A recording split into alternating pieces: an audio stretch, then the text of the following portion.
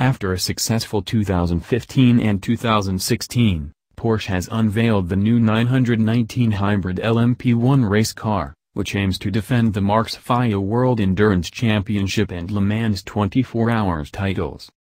For the 2017 season, 60 to 70% of the vehicle is newly developed. The basic concept of the 919 hybrid still offers scope to optimize the finer details and further boost efficiency.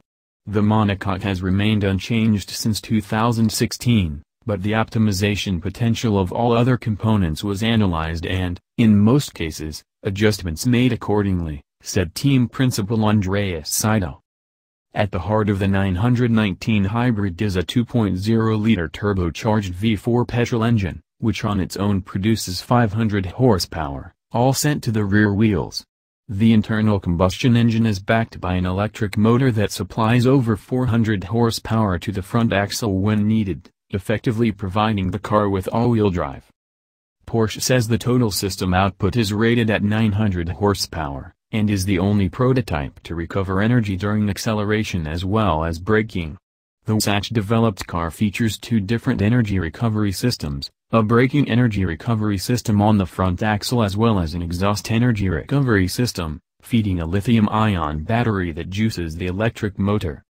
Entering the details, approximately 60% of the recovered energy comes from the KERS, kinetic energy recovery system, on the front brakes, while the remaining 40% is generated by the exhaust energy recovery system. The latter sees a small variable geometry turbine fitted in the exhaust tract, which spins at a speed of more than 120,000 revolutions per minute, powering the generator. As mentioned earlier, the energy generated is stored in a battery until it is needed. Since endurance racing is all about efficiency, an average of 80% of the braking energy recovered from the front axle is immediately converted to drive energy. Porsche also notes that if the engine was required to supply this electrical power, it would to increase its output by over 100 horsepower, 74 kilowatts, which would increase the fuel consumption of the 919 by more than 20%, equating to an extra liter of fuel per lap.